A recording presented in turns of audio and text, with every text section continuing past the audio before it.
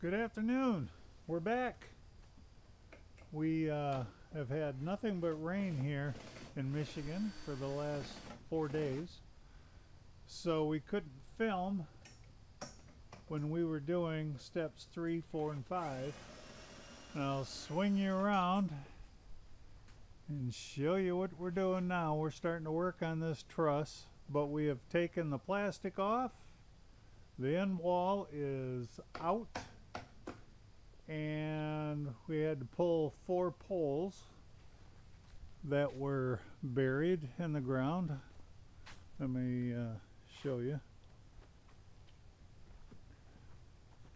Those are out, and now we are taking all the hardware off the end wall, pole, and truss.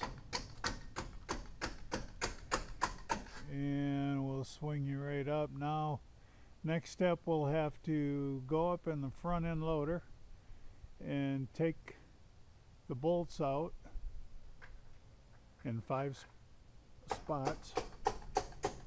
And then we will try to lift it off Now it's been on there for two years, so I have no idea what type of resistance we're going to uh, encounter. But we have a persuader that should do pretty good. So we'll speed this up and we are currently on step five, I believe. Step six, actually. We're moving right along. Stay with us.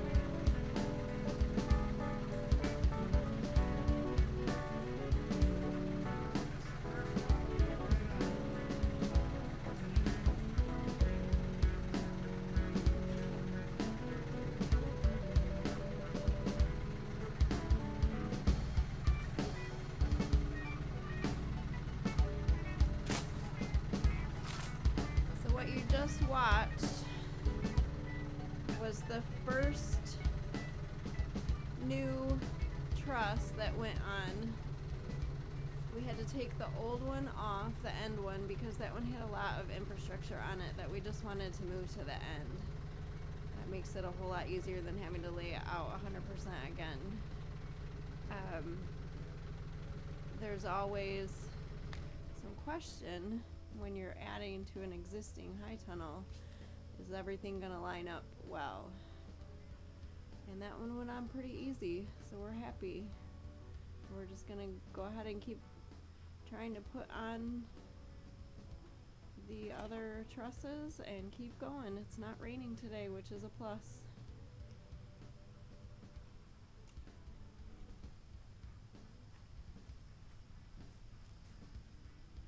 We got it? Yep. That lines up very well with the previous had it a little bit. All good.